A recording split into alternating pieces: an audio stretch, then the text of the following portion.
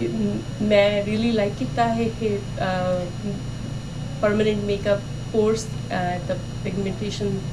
micro pigmentation centre and teacher is very helpful ਹੈਗੇ ਆ ਤੇ ਉਹ ਜਦੋਂ ਵੀ ਤੁਹਾਨੂੰ ਹੈਲਪ ਦੀ ਲੋੜ ਹੈ ਦੇ all there and individual attention ਦਿੰਦੇ ਆ ਤੁਹਾਨੂੰ ਐਂਡ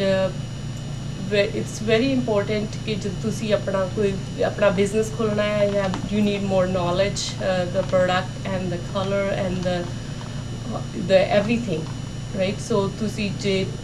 ਚਾਹੁੰਦੇ ਆ ਕਿ ਤੁਸੀਂ ਇਹ ਕੋਰਸ ਚ ਜਾਣਾ ਚਾਹੁੰਦੇ ਆ ਤਾਂ ਆਈ ਰੀਲੀ ਰეკਮੈਂਡ ਕਿ ਤੁਸੀਂ ਇਸ ਟ੍ਰੇਨਿੰਗ ਲਈ ਇਸ ਸੈਂਟਰ ਜਾਓ I really like the teachers and then staff is very friendly very helpful ਹੋਗਾ ਤੁਹਾਨੂੰ ਆਪਣੇ ਆਪਣਾ ਬਿਜ਼ਨਸ ਸਟਾਰਟ ਕਰਨ ਲਈ